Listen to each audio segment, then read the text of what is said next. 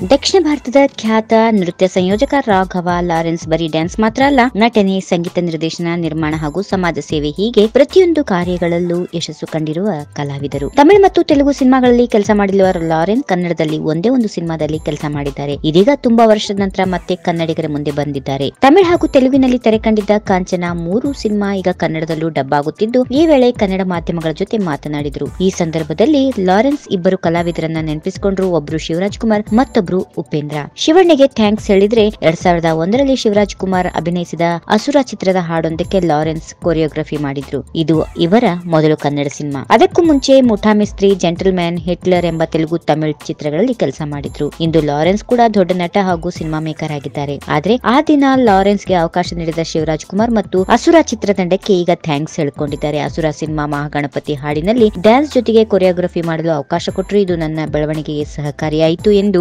ಧನ್ಯವಾದ ತಿಳಿಸಿದ್ದಾರೆ. If you like this video ಬೇಗ ಲೈಕ್ ಮಾಡಿ ಕಮೆಂಟ್ ಮಾಡಿ ಶೇರ್ ಮಾಡಿ. ಹಾಗೂ ಅಲೋ ಟಿವಿ